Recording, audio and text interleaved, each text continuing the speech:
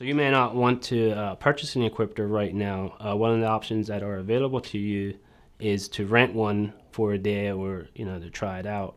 Uh, for instance, I had a customer that uh, did that, rented it, and then on the spot uh, put a deposit on it uh, for a new one.